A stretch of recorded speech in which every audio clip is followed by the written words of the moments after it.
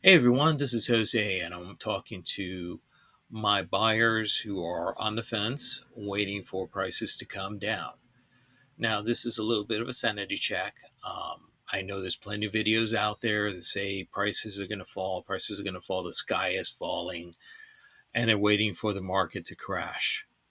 Well, this is the other side of that coin. This is US median home prices over the last 30 years.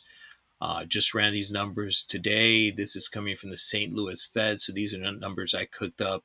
This is literally a graph that I got from the St. Louis Fed website. So if you see here in 19 in the 1994s, prices were around $120,000, a little bit more. Um, today, median home prices even coming down a little bit are at $400,000, a little bit more than that. So, what does that mean? Let's put it into perspective of renters versus buyers. If a buyer bought a house 30 years ago, his house is worth three times more than what he paid for it. Same, uh, their neighbor who was a renter rented for 30 years. They're still renting. They don't have an asset maybe they invested in stock and maybe they were able to get appreciation that way. That's a possibility.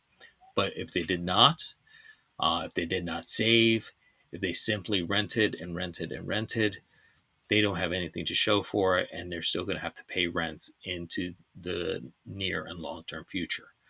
The person that owns a home after 30 years, if they did not refinance and take cash out, they're done paying their mortgage they now live free and clear in the house for the rest of their lives, potentially leaving the house to their children and passing wealth on to the next generation.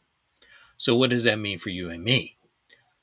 What it means is you have to make a choice.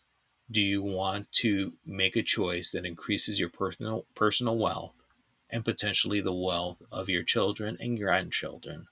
Or do you want to live moment to moment waiting for that magic number so then you can buy a home. If you're ready to buy a home now, give me a call 352 405 1037. If you still want to wait, I respect that. Just keep in mind prices may continue to go up even though you're still waiting for that magic price. Enjoy this beautiful day.